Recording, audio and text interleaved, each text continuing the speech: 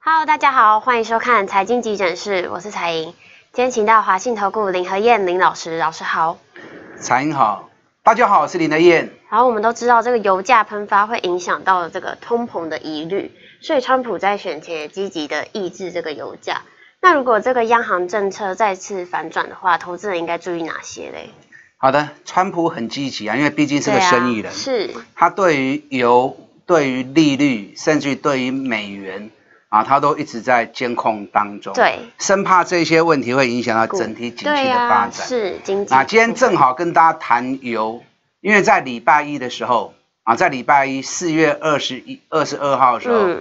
当天晚上，国际油价大涨了二点五帕。对，因为以油来说，它是一种民生重要的一个必需品。是，它的波动如果过剧烈的话，那么对于整个成本控制会比较难以掌握住。对，所以正常依照我长期在研究油市哦，因为我从民国八十年到民国八十三年啊，整整三年多的时间，我在国际期货上面交易油。嗯，所以我对油是相当娴熟的。嗯，而且也了解相当深入。那今天正好利用这个时间来跟大家分享我对于油的看法，嗯，很准哦。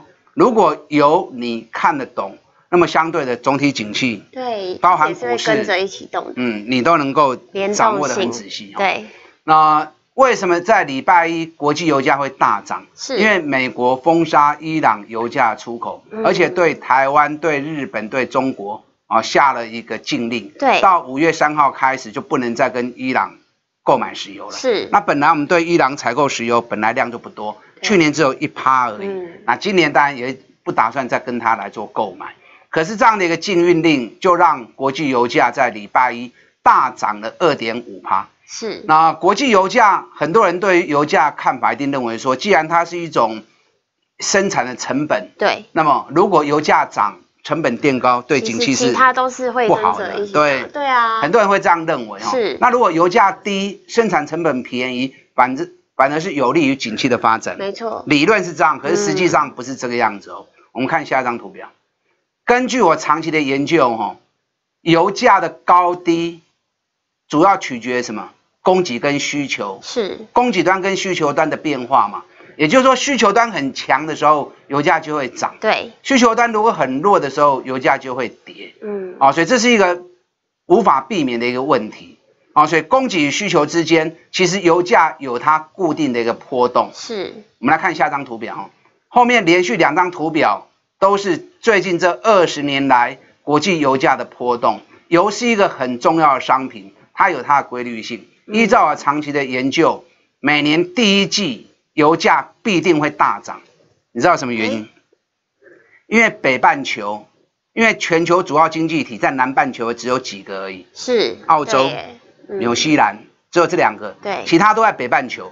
不管是整个欧洲啊，甚至于亚洲这边，中国大陆啊，日本、美国、加拿大，全部都在北半球。是，那北半球只要一月开始，全部天寒地冻，对，所以需要烧燃煤。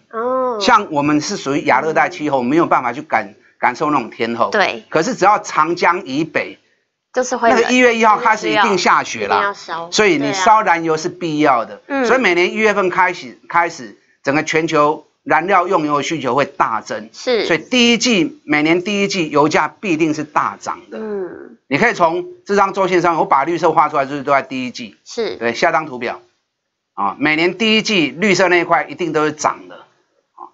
那油价每年的高点，大部分时间都会落在六月份。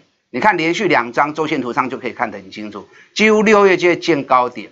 那下半年的油价都会往下做一波修正，嗯，下半年会比上半年比较差一些，因为紧接着进入一月份之后又要开始油价要开始大涨了。所以尤其是很简单，上半年比较好，下半年比较淡。那目前我们来看最近国际油价。在去年十二月底的时候，你记不记得去年在十月份的时候急杀了一波？对。那急杀一波之后，整从十二月份开始，国际油价开始大涨，从每桶四十三点八涨到礼拜一的六十五点五，啊，这一波涨上也蛮凶的哦。是。那目前到了四月份，以目前来说，用油高峰期已经开始慢慢的啊，需求量已经开始降下来了。可是在这个连续四个月的高用油期，嗯其实会造成油的库存是在低库存。那油在低库存的时候，油价更不容易下来。对，加上油现在已经被川普的一个政策上的工具甚至于在政治上的一个啊啊制肘的工具，所以油价最近这两个月要下来不容易。嗯可是这也几乎是到最后阶段了。是，啊，这个大家特别注意到。那我们来看一下股市的部分哦。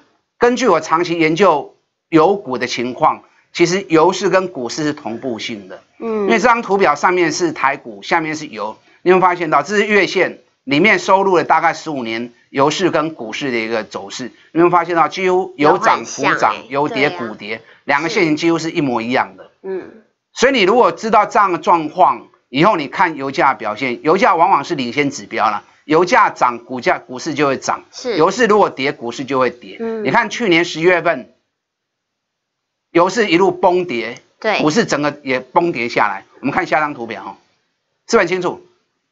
去年台北股市从十月份一万两百哦一万一千两百点一路崩跌到九千三，是那段期间正好油市也是大跌的。嗯那从一月份开始，油市大涨，股市也跟着上来。我们把这两个图形一起并合并来看，我们看下一张，上面是德州清原油，下面是台北股市。最近这一年来走势是不是很清楚？